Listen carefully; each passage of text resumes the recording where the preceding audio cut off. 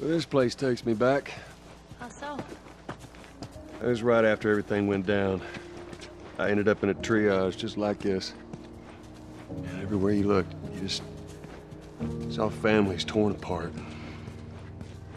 Whole damn world seemed to have turned upside down in a blink. Was that after you lost Sarah? Yes, it was. Can't imagine losing someone you love like that.